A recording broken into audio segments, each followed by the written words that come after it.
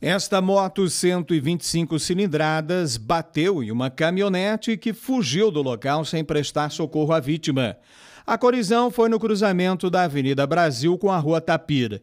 Equipes do SAMU estiveram no local prestando os primeiros socorros ao motociclista de 22 anos de idade. O condutor da moto acabou sofrendo uma fratura no pulso e foi encaminhado ao hospital. A polícia militar também esteve no local registrando a ocorrência.